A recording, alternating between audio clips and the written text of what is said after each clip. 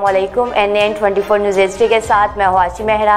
Bulletin का आगाज़ करते हैं। सबसे पहले खबर शामिल करेंगे टंडोला यार से, जहाँ पर डीएसपी अब्दुल कादिर मेमन की सरबराही में फ्लैग मार्च और सर्चिंग ऑपरेशन किया गया। तफसीलात के मुताबिक एसएसपी टंडोला यार फारूक अहमद बजारानी के अहकाम पर डीएसपी सिटी अब्दुल कादिर मेमन की सरबराही में फ्लैग मार्च और सर्चिंग ऑपरेशन किया गया। सर्चिंग ऑपरेशन में इंचार्ज आर आर एफ़ पंद्रह मददगार S H O A B section S H O O B section W H C मददगार और दीगर स्टाफ ने हिस्सा लिया। सर्चिंग ऑपरेशन के दौरान चौक, चौराहों, होटलों, बाजारों और शहर की दीगर अहम शाहराहों पर भी भरपूर तरीके से चेकिंग की गई। मशकूक और गैर मुकामी अफराद के शनाख्ती कार्ड भी चेक किए गए और वजाहत तलब की गई।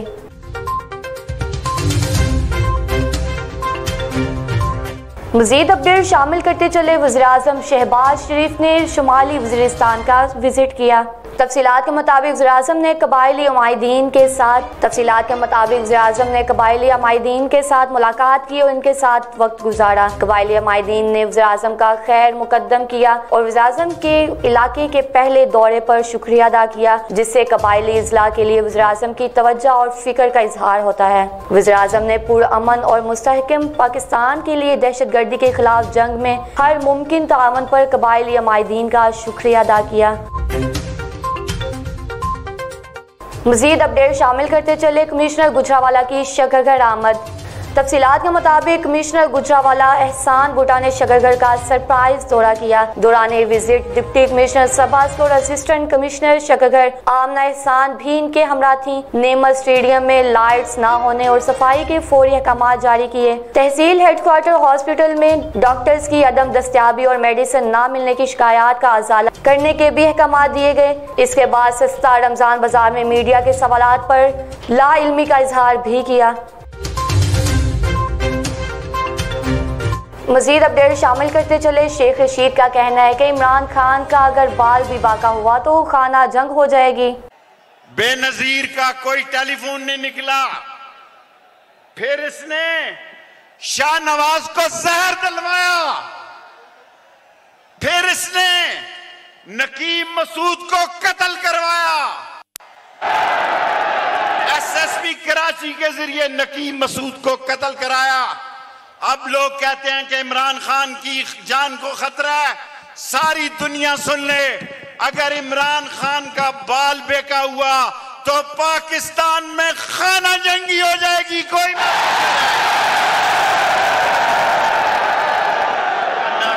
करने लगा कहता तो अभी रिटायर हो जाता हूँ दो मिनट दे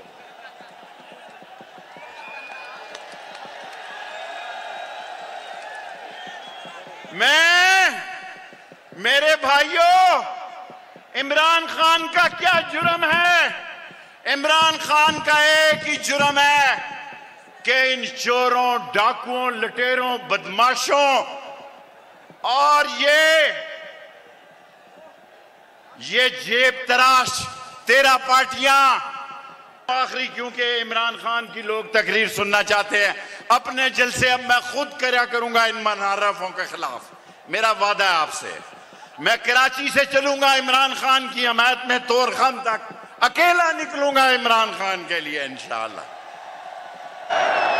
और मेरे भाइयों, ये इमरान खान के खिलाफ जो इंटरनेशनल एजेंडा बना है, क्योंकि दुनिया में इमरान खान को लोग पूछ रहे थे, अमेरिका में इमरान खान के लिए मुजाहरा हुआ, फ्रांस में हुआ, जर्मनी में हुआ, बेल्जियम में हुआ, यूके में हुआ। और सुनो, लाहौर वालों, मैंने इमरान खान साहब से आते हुए अर्ज़ किया खान साहब, आपने कल ज़बरदस्त बयान दिया है कि इमरान, आखिरी बात कहनी है, डीजल बाद में नारे लगा लेना। इमरान खान ने कल ज़बरदस्त बात की है कि इमरान खान की ज़रूरत नहीं है, लेकिन पाकिस्तान की फौज की ज़रूरत है। पाकिस्तान की खत्ते की अजीम फौज है, ये शुहदा की फौज है। लेकिन मुझे बताया जाए कि ये मकसूर चपड़ासी से बारह बारह अरब रुपया शोबाज पॉलिश वाला, शोबाज बारह बारह रुपए मकसूद पड़ासी से लेगा। उसको कोई किस तरह इज़्ज़त देगा? कोई उसको इज़्ज़त देगा? कोई उसको इज़्ज़त देगा? और 27 और 28 तारीख को हरम में भी जाके देख ले लोग इसके साथ क्या सलूक करते हैं। मेरे भाइयों, मैं आपसे ज़ुबान देता हूँ। मैं इमरान खान का साथी हूँ। मैं जिस हलके से तल्लक रखता हूँ वो सारा हल्का और सियासत कर रहा है। मैं 22 करोड़ लोगों की सियासत कर रहा हूँ। चट्टान की तरह इमरान खान के साथ खड़ा हूँ। नारे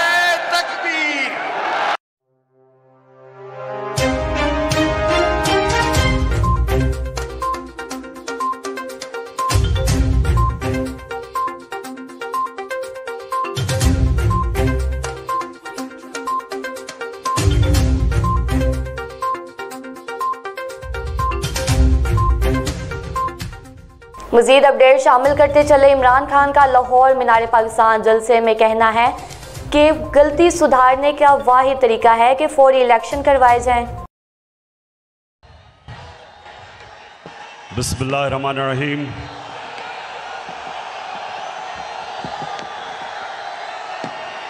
अल्लाह तेरी इबादत करते हैं, तेरे से मदद मांगते हैं। कि मेरे माँ बाप एक गुलाम हिंदुस्तान में पैदा हुए थे और उन्होंने पाकिस्तान की तहरीक में शिरकत की थी। और बचपन से उन्होंने मुझे एक चीज़ बताई कि तुम खुशकिस्मत हो कि एक आज़ाद मुल्क में पैदा हुए हो। और मैंने जब क्रिकेट की ग्राउंडों के ऊपर अपने मुल्क का नाम ऊपर किया और हमारा पाकिस्तान आहिस्ता आहिस्ता आहिस्ता क्रिकेट की दुनिया में ऊपर जाना शुरू हुआ। तो हमें फख्र होता था कि हम वो पाकिस्तानी हैं जो एक आज़ाद पाकिस्तान को दुनिया में उठा रहे हैं। सोचता हूँ, ये नून लीग के और पीपल्स पार्टी के लोगों को मैं सोचता हूँ और और वो डीजल वाले के लोगों को भी। कि मुझे ये बताएँ कि कोई आपको कोई आपको शर्म नहीं आती कि वहाँ जरदारी फैमिली के अलावा कोई नहीं आता ऊपर? यहाँ शरीफ फैमिली के अलावा कोई नहीं आता? उधर फजल रहमान के बेटों के अलावा कोई नहीं आता? कोई आपको शर्म नहीं आती कि किसी में सलाहियत नहीं ऊपर आने की? हमारी पार्टी में क्यों नहीं है? बताएँ मेरा कौन सा रिश्तेदार है? बताएँ कौन है रिश्तेदार? कौन सा दोस्त है मेरा पावर में? क्योंकि मेरिट के ऊपर चल रहे हैं हम। ये खानदानी पार्टीज़, मैं इनके ऊपर हैरत होता, मुझे होती है कि क्यों नहीं इनको अजीब लगता कि वो एक बच्चे को बाहर से उर्दू उसको पूरी आती नहीं, उसके सामने बड़े बड़े झुके हुए होते हैं। वो जब वो जब नवाज़ शरीफ प्रेसिडेंट ओबामा को मिला पर्चियाँ पकड़ के तो जिसकी काम पे टांग रही थी। चौदह साल हो गए, उर्दू नहीं आ रही सही तरह। करती करते में फ़र्क ही नहीं पता चलता उसको। तो दूसरी तरफ़, वो मरियम बीबी मरियम तैयार है, जिसने ज़िंदगी में एक घंटे का काम नहीं किया, वो तैयार बैठी है। उसका बेटा तैयार बैठा है। उनके रिश्तेदार तैयार बैठे हैं सबके। तो कोई इनको, इनके लोगों को कोई एहसास नहीं। हम किसी सूरत इस इंपोर्टेड हुकूमत को तस्लीम नहीं करेंगे। जो भी हो, ये जब समझते हैं कि ये तहरीक खत्म हो जाएगी, तहरीक अभी ज़ोर पकड़ेगी। मैंने अपनी सारी पार्टी के बड़े बड़े सीनियर्स को कहा है कि इन्होंने निकल जाना है सारे पाकिस्तान में। आपने जाके लोगों को तैयार करना है। अपनी हकीकी आज़ादी की तहरीक में सबको शामिल करना है।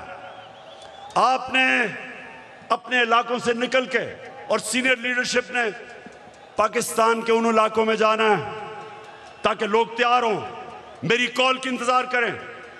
और मैं सिर्फ़ एक चीज़ चाहता हूँ, कोई और चीज़ नहीं चाहता। मैं चाहता हूँ कि जल्दी से जल्दी इलेक्शन अनाउंस किए जाएँ। हम एक जमहूरी पार्टी हैं।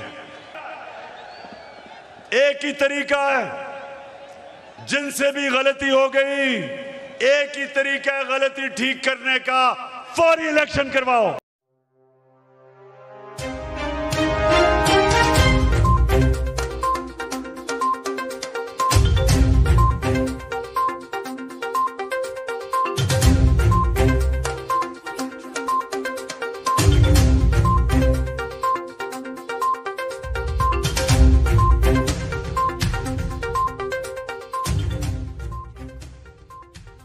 न्यूज़ स्टूडियो से फ़िल्म के लेता ही मजीद खबरों और अपडेट्स के लिए देखते रहिए N twenty four news history.